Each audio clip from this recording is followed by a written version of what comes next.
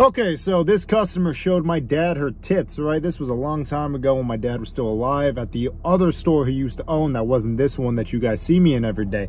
What happened was my dad asked this lady for an ID when she was buying a beer, and I remember sitting in like the corner or something. Maybe I wasn't even there. I just remember him telling me this story many, many times.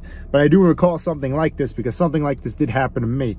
He asked for her ID. She got fucking visibly upset with him for some fucking reason. And then she goes, lifts up her shirt. Cop yourself your merch, jado506shop.com. She lifts up her shirt and she says, these fucking tits aren't over 21 to you? My dad goes, shit, shit, sorry, sorry. And then fucking gives her the alcohol or whatever. I'm pretty sure that lady was over 21 because I don't think uh, under 21 girls show tits like that, at least to my fucking knowledge. And maybe even back then it was even less.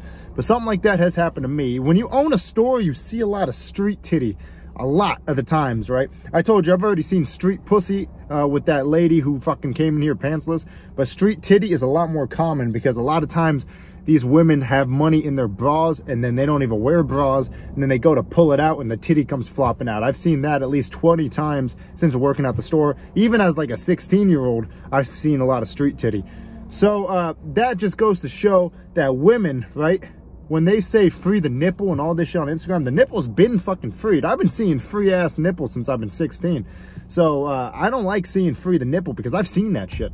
That shit is free. And let me tell you, it's not that nice. So maybe don't free the nipple. It depends on the nipple if I'm being honest with you. Anyway, boys, uh, got yourself some merch, jado506shop.com. I'm going to try to make these videos a little bit quicker, under two minutes, because I know attention spans are a lot lower. So I'm going to do my best Anyway, watch my other videos, do me a favor, and I'll see you guys in the next one. Peace.